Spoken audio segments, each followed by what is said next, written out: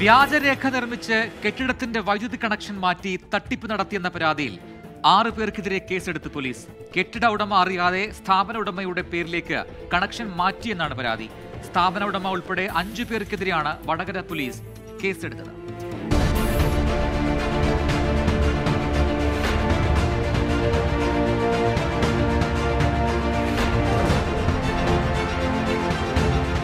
വടകര ചോറോട് Rocky enclave എന്ന കെട്ടിടത്തിന്റെ ഉടമ ചെറുവത്ത് സി കെ സുരേന്ദ്രനാണ് പരാതിക്കാരൻ.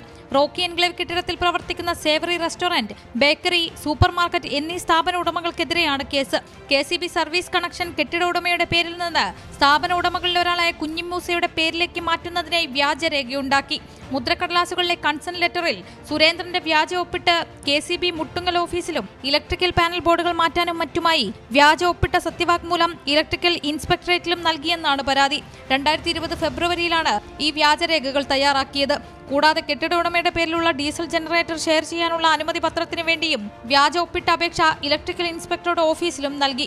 ഈ രേഖകൾ വിവരാവകാശ നിയമപ്രകാരം വാങ്ങി നോക്കിയപ്പോഴാണ് തട്ടിപ്പ് നടന്ന വിവരം കെട്ടിട ഉടമ അറിയുന്നത്. ഇത് മൂസയുടെ പേരിലാണ് അവരുടെ കൺസെന്റ് വാങ്ങിക്കണം എന്ന് അവരുടെ അപ്രൂവൽ വാങ്ങിച്ചു കഴിഞ്ഞാൽ നമുക്കിത് കട്ട് ചെയ്ത് തരാൻ പറ്റുന്നു അപ്പോൾ ഞാൻ അയാളോട് ചോദിച്ചു എന്ത് വകയിലാണത്? എന്റെ കെട്ടിടം എന്റെ ട്രാൻസ്ഫോമർ ഇത് കട്ട് ചെയ്ത് തരാൻ നിങ്ങൾക്ക് എന്തുകൊണ്ട് പറ്റില്ല? ആ ഒരു അവസരത്തിലാണ് ഈ കക്ഷി ഈ മുദ്രപത്രത്തിൽ നിങ്ങൾ കൺസൺ ലെറ്റർ ഒപ്പിട്ട് കൊടുത്തിട്ടുണ്ടെന്ന് ഈ വിവരങ്ങൾ പറയണം. ചെന്നൈയിലെ ട്രൂത്ത് ലാബ് ഫോറൻസിക് സർവീസിൽ തന്റെ ശരിയായ ഒപ്പും രേഖകളിലെ ഒപ്പും സുരേന്ദ്രൻ പരിശോധനയ്ക്ക് അയച്ചു. രേഖകളിലേത് വ്യാജോപ്പാണെന്ന പരിശോധനാ ഫലം ഉൾപ്പെടെയാണ് പോലീസിൽ പരാതി നൽകിയത്. തുടർന്ന് Vadakara C I M Rajesh അന്വേഷണം നടത്തി കേസെടുത്തു. സ്ഥാപന ഉടമകളായ ചൊക്ലി അണിയാരം മാണിക്കോത്ത് കുഞ്ഞിമൂസ ഷെബിൻ കുഞ്ഞിമൂസ സ്ഥാപനത്തിന്റെ ഇലക്ട്രിക്കൽ സൂപ്പർവൈസർ കോഴിക്കോട് സ്വദേശി ഷൈജു ജീവനക്കാരായ അഞ്ജലി അശോകൻ വി പി ദിനേശൻ എന്നിവരുടെ പേരിലാണ് കേസ്. അതേസമയം മലിനീകരണ നിയന്ത്രണ ബോർഡിന്റെ സർട്ടിഫിക്കറ്റ് ഇല്ലെന്നും മാലിന്യ നിർമ്മാർജന പ്ലാന്റ് പ്രവർത്തിക്കാത്തതിനാലും സേവറി റെസ്റ്റോറന്റ് പൂട്ടാൻ നോട്ടീസ് നൽകിയിരിക്കുകയാണ് ചോറോട് പഞ്ചായത്ത്.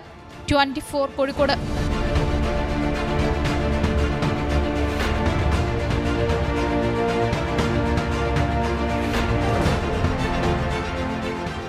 ലോകത്തെവിടെയായാലും ഏത് സമയത്തും ട്വന്റി ഫോർ വാർത്തകളും ഓക്മെന്റഡ് റിയാലിറ്റി പാക്കേജുകളും എക്സ്പ്ലെയിനറുകളും വിശദമായി കാണാൻ ഞങ്ങളുടെ യൂട്യൂബ് ചാനൽ നിങ്ങൾക്ക് സബ്സ്ക്രൈബ് ചെയ്യാം.